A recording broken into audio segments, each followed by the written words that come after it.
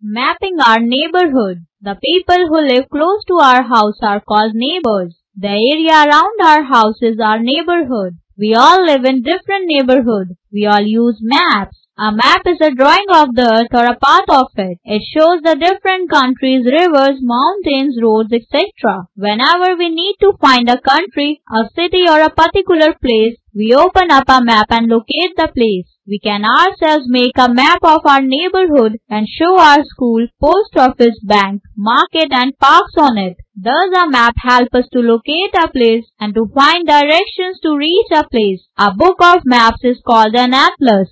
Directions. The directions indicate your route. These are four major directions. North, South, East and West. Maps also show the direction from one place to another. Sometimes there is an arrow to show north or end. Once you know the north direction, you can find other three directions. If there is no arrow, it means the top of the map is north and opposite to it south. To the right is east and to the left is west. Sketch. Here is a sketch Pooja made for Jaya when she invited her for a party. She marked some important landmarks in the sketch to help Jaya to find her way. A sketch is a rough drawing of an area.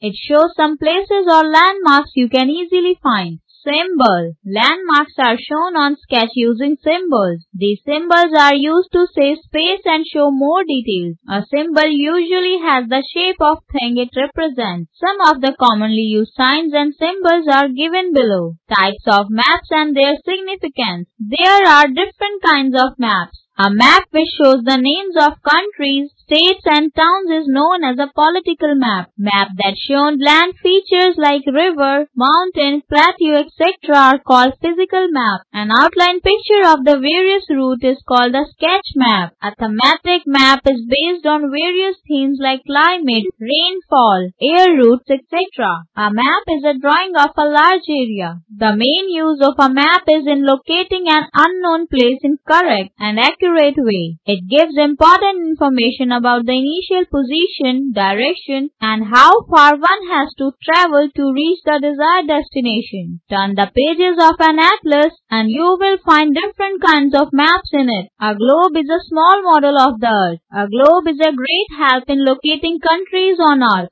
Scale. A scale is an important part of the language of a map. It reveals the distance between places on a map and the actual distance between places. For example, the distance between Delhi and Chennai is 2200 kilometers. But on a map, the distance between the two places is only 22 centimeters. That is 1 centimeter equals 100 kilometers. This is known as the scale of the map.